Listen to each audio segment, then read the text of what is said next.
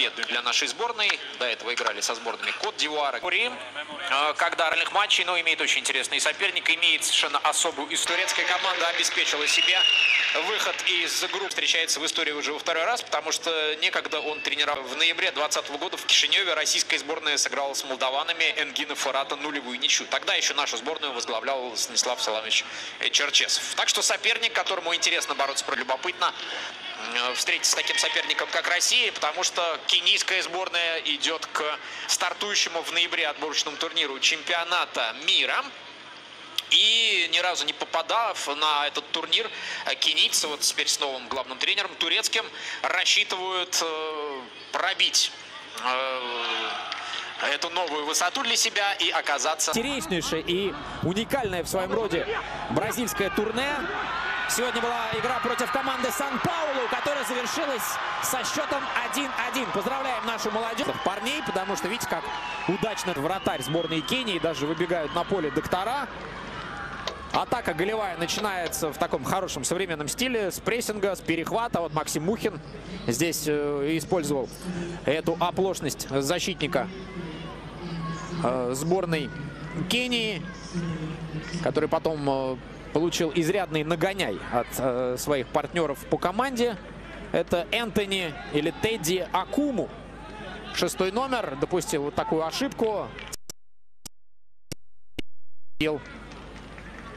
Кенийскую команду. Что касается Тедди Акуму, который из вообще Кению, пускай не такие прочные, как с некоторыми другими африканскими государствами, а связи все-таки объединяются российская команда. Вот сейчас ошибку допускает и наша сборная. И мяч в сетке ворот. Ну, надо же такому случиться.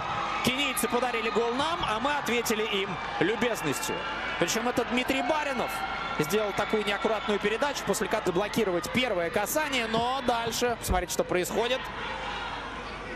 Ну, как же так? Под давлением. Понятно, под давлением. Здесь Дмитрий Баринов, может быть, дело не в его вине, а в том, что ему не подсказали партнеры, что вот в такой агрессивный достаточно отбор э, очень сильно пошел.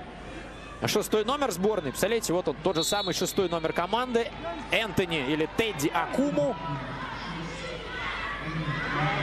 И никакой не полузащитник может играть. Снова Антон и входит вроде бы уже в штрафную площадь. И мяч под ударной правой ногой у Антона. Но что-то помешало ему. Поле с постоянными ударами. Очень здорово все проявляли как раз нынешние центральные защитники. Георгий Джики и Роман Евгеньев очень много забил. А дальше начинаются стыки. Но вот здесь образец такого стыка, каких э, хотелось бы видеть поменьше. Конечно, да, сыграл в мяч Нонди первым движением своим. Но следующее было очень болезненным для Данила Фомина. У нас это... Ну, футболист, который у кенийцев умеет далекие ауты бросать, потому что в юности в регби играл, а пока в запасе, не на поле. А вот те, кто на поле сейчас проводит позиционную атаку. Кеннет Мугуна отпасовал. Он такой в составе достаточно легко игроки. И новая подача в исполнении Кеннета Мугуны из клуба Кения Полис. Футбольный клуб, представляющий национальную полицию. Но Кеннет Мугуна был капитаном другого кенийского клуба Гор Майя. Одного из самых сильных клубов э, в Кении. Однако уезжала страна, вернулся в другую команду. Ту самую Кения Полис. Не в свою родную команду. Он сказал, что в большом футболе все решают деньги. Футболист. Хоть подает другой футболист. У кенийцев мы видим это Эрик Ума из шведского клуба АИК. Подача. Здесь очень опасно. Надо работать в воздухе нашим парням, потому что кенийцы высокие. Ну а то, как они в борьбе легко падают, складываются, мы уже видели. Если такое произойдет в штрафной площади, будут подозрения на 11-метровые. Этого нам не надо допускать. Какая срезка неприятная от головы Георгия Джики. И мяч в сетке ворот. Ну, тут уж ничего не попишешь.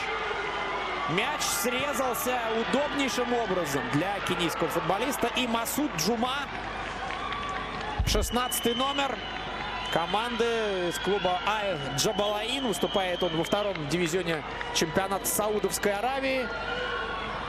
Отправляет легкий мяч в сетку Ильи Помазуна. Посмотрите, здесь он в офсайде находится.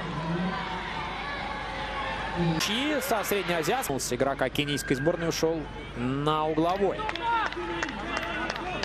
Да, вот здесь вот подставил себя под этот удар Майкл Улунга, капитан команды. Алексей Миранчук сигнализирует своим. Здесь не будет розыгрыша, будет подача. Подкручивать Алексей станет к воротам этот мяч. Посмотрим. Но в верховой борьбе очень трудно с кенийцами нам тягаться. Много, очень много рослых ребят. Еще подача. Через касание игрока кенийской сборной. Нужно возвращаться. Нашим на свою половину поля. Помазун. Но здесь тоже не очень уверенная игра. А головой сейчас была в исполнении Джонстона Амурвы. Но в отличие от ситуации... Начал эту атаку, но Соболев уже точным ударом ее завершил. Так мы повели, и казалось, что, в общем-то, все в таком режиме, наверное, продолжаться и будет. Трибуны здесь практически полностью забиты российскими болельщиками, которые отдыхают здесь, в Турции, которые либо живут здесь, недалеко в Анталии. И кто-то билеты покупал, кто-то получил бесплатно. В общем, они здесь явно наслаждались моментом. Но буквально через несколько минут тот же самый э, эпизод, похожий по смыслу, с ошибкой защитника, случился уже у наших ворот. Там Дмитрий Баринов попал под давление шестого номера сборной Кении. В итоге потерял мяч и спустя пару секунд уже сам забил. И счет стал 1-1. Вот тогда уже было тревожно. Просто мы накануне общались с тренером сборной Кении, и он как раз говорил, что мы собираемся прессинговать. У нас это неплохо получается. У нас достаточно крепкие футболисты. И в итоге к концу первого тайма они выглядели уже даже как минимум, снова в результате ошибки футболиста сборной России. Смотрите, здесь он в офсайде находится. Здесь за... Далер Кузяев уже пару мячей за Гавр в чемпионате французском забил. Гавр пока находится в нижней части таблицы. И забитые мячи российского полузащитника команде очень нужны, конечно.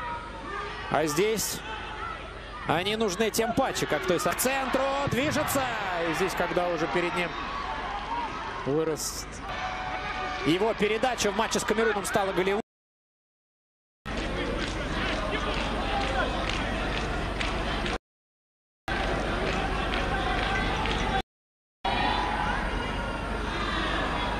Но и непонятно, все-таки повреждение получил он в результате вот этого удара, наверное, все-таки да, в результате удара Данил Глебов выскочил сзади.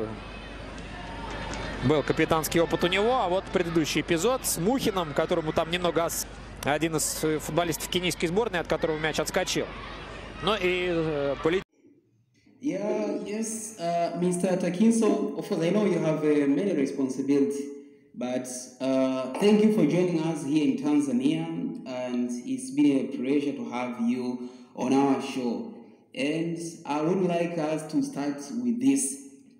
Uh, how far are that preparation towards game against a giant team from Tanzania, Simba Sports Club in Camp Champions League, are going to you there in Botswana? Oh, thank you, Musa. And let me just start by greeting everyone in Tanzania. And uh, I, I really appreciate that you, you've given us this opportunity to to give them an update uh, about this wonderful team called Joining Galaxy.